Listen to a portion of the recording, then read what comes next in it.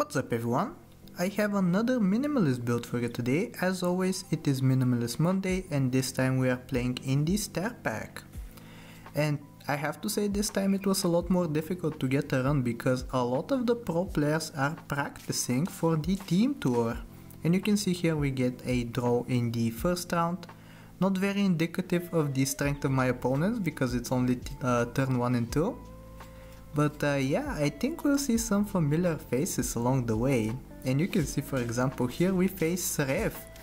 And uh, curiously enough I actually just watched his set on his Twitch channel so I'll link his YouTube and Twitch channel in the description and it was super fun to watch, he was playing in the star pack as well. So uh, yeah, while he has been becoming stronger, I am just building up some pigeons. I don't know if that's a good strategy or not, maybe it is. But uh, yeah, in the meantime, we'll just uh, hope for some levels and we do find one in the marmoset. So you've probably seen from the thumbnail my idea as we actually face Tyler, who is my teacher for the uh, Team Tour event.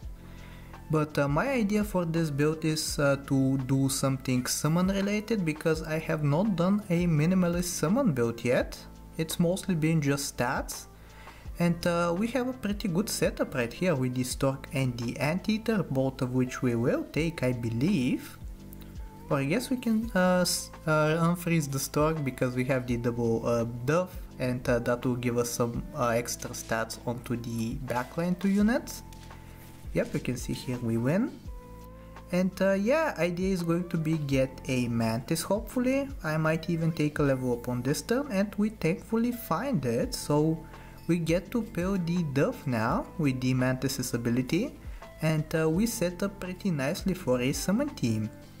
We can feed the mantis all kinds of stuff. We ideally want to give it stuff like blobfish and uh, I guess more doves because that also gives stats.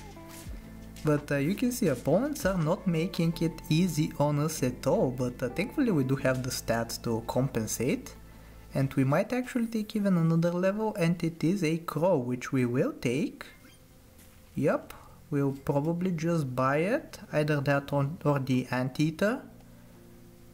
Yeah, you can see me uh, deliberating a little bit right here, giving the uh, woodsu I was going to call it woodpecker as a sacrifice to the mantis.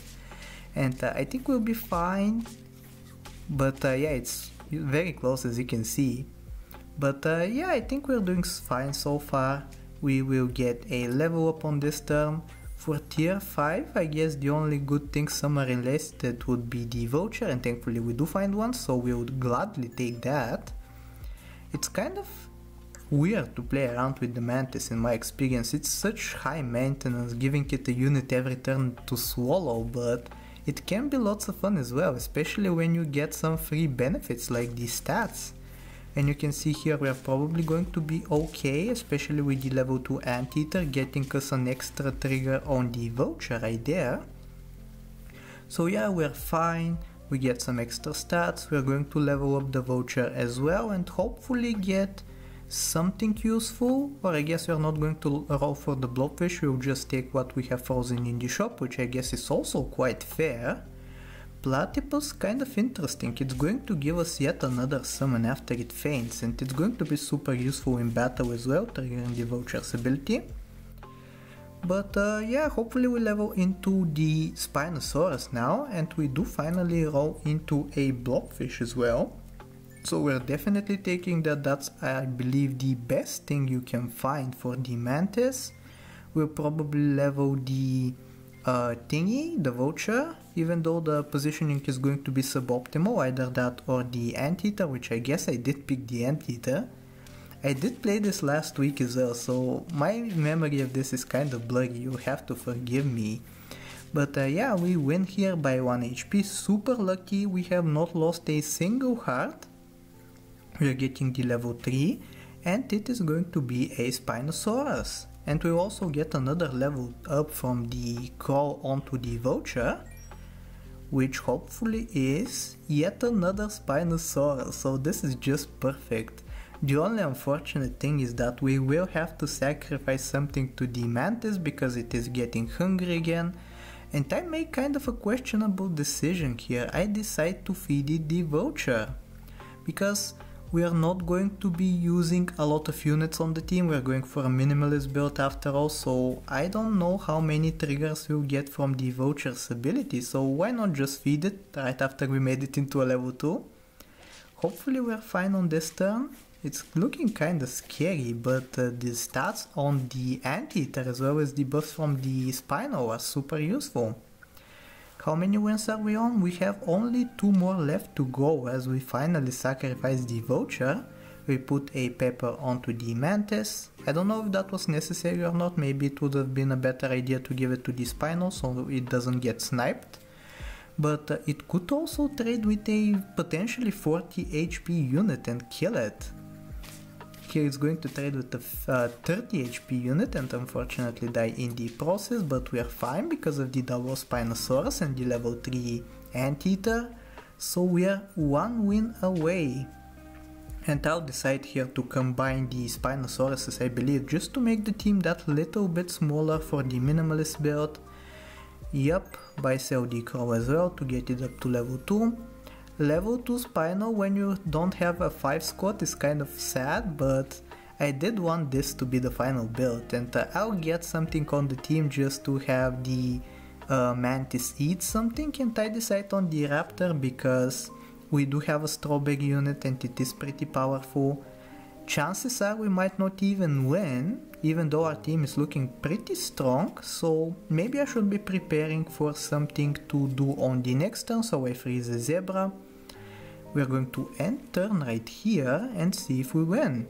By the length of the video you can probably tell that no, we do not win in fact, which is kinda sad but uh, we will, I believe, end up drawing by multiple 1 HP breakpoints, so that is super sad, but I think we have this in the bag. 5 hearts, even though we have only a 3 squad, excluding the unit that will feed to the Mantis every turn, I think we'll be okay.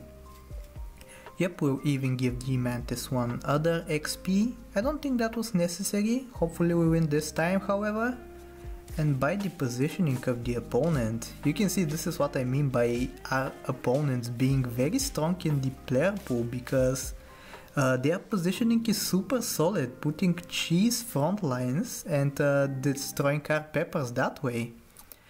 But uh, yeah, I think this is still not going to be the final fight yet again, which is super unfortunate. And I'm honestly kind of deliberating on going away from the minimalist build, but I instead decide to take a platypus and uh, hopefully this is going to be good enough. The platypus is two extra summons as opposed to the anteater's one that we got from the orca. And from the stats of the opposing team you can just tell that we are not winning this for sure. But it is kinda close, 2 HP off. But uh, yeah, I believe this now is going to be the final fight. We're going to put some pepper on the other stuff as well, just to make sure that it survives some snipes and now beneficial traits. What we will put it on? I guess the anteater. If we're not going to find the raptor to replace it with coconut, I think pepper is better. And yeah, this is going to be the final team. So I really hope you enjoyed this minimalist summon build and if you did, I hope that you like, sub, do all the generic stuff and I'll talk to you next time. Take care!